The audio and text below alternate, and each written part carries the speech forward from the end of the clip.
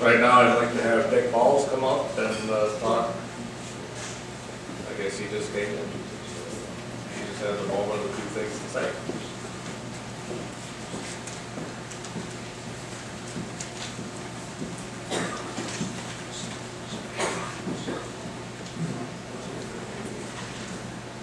Thank you. First of all, I'd like to thank all of our brothers and sisters. I am honored and have great pride in all of our veterans. This organization, the Veterans Memorial Association, also known as the VMA, was started with the concept that all brothers in the service, irregardless of when, were entitled to an organization. Back in 1983, there was no perception of any more wars, and a few senior gentlemen started the organization so that all veterans would have a place to go and call home. I really want to thank all of you for being here today, and God bless you all. Thank you very much.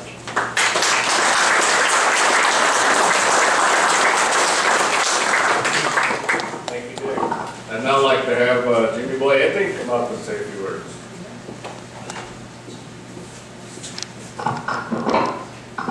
Thank you.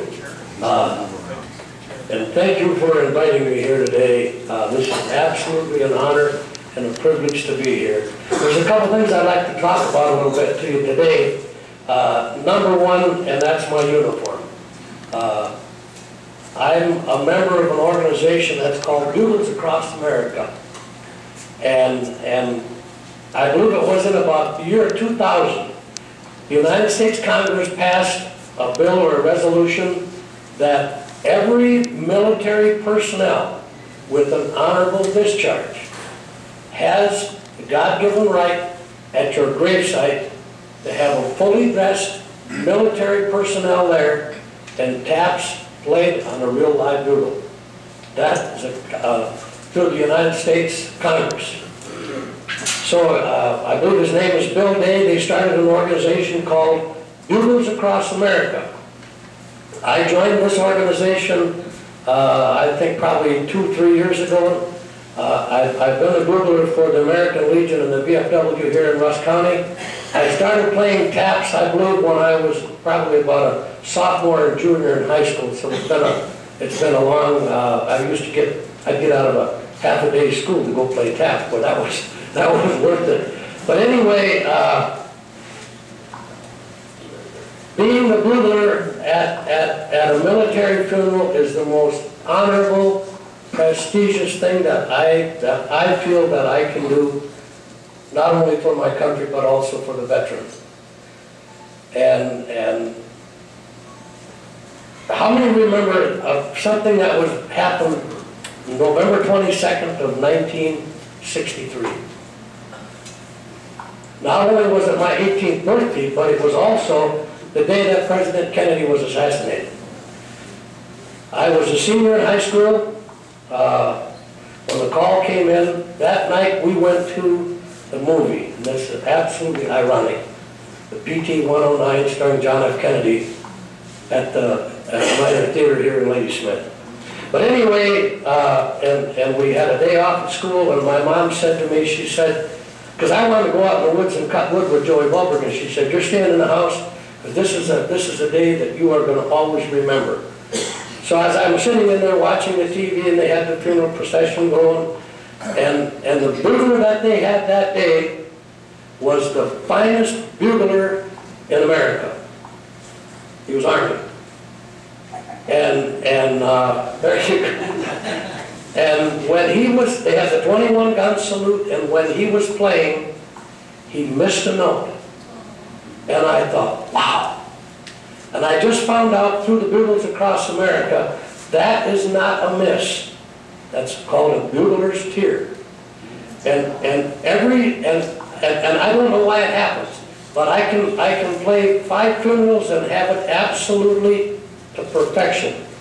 and then all of a sudden, there's just a, a little glitch or a miss, and that's a bugler's tear. So when you hear that, that's, that's not a mistake.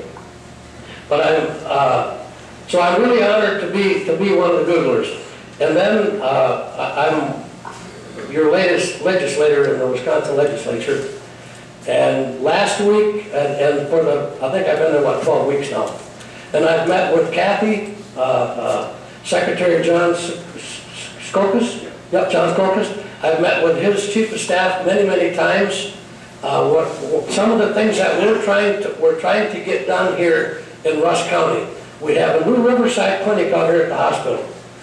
And I'm trying to get that to become a division of the VA hospitals. So if you guys have a problem, you don't have to drive halfway across the country to get to it. And if we can get that done, that's, that's gonna absolutely be, uh, uh, instrumental. Um, Last Thursday, uh, the secretary had at, at the uh, Armory in Madison, uh, boy, that place was full of, full of, full of military.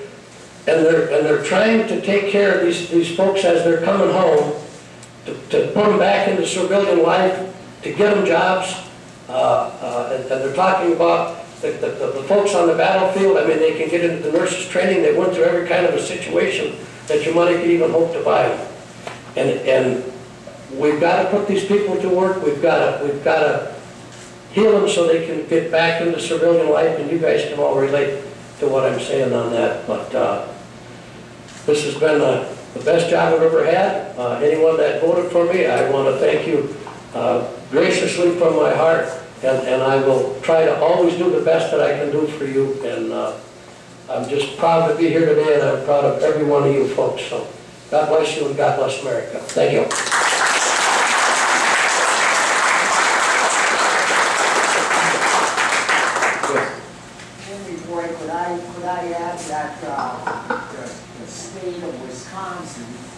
Now has a program where if you have a kid in high school that can play taps, they will give that child a twenty-five dollar,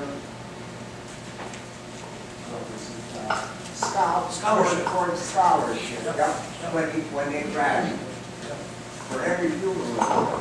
So if you know, if you have any grandsons or kids or whatever that can play a trumpet, a bugle, uh, a flugelhorn, uh, uh, uh, pretty much a brass instrument, you know, that, uh, have them contact uh, bugles across America. They'll, you have to go through an audition, but you don't have to be good because they took me. But, uh, uh, but it's, it's absolutely imperative that I mean, I just literally despise this plastic bugle that, that they play, but there's times they, you know, I think in the time that I've been with, with these folks, I think I've only missed one funeral, and that's because we were in session. But, uh, uh, yeah, good, good point. We, we need buglers, and, and, uh, they're getting pretty scarce, or they're getting pretty old. Thank you, Jimmy.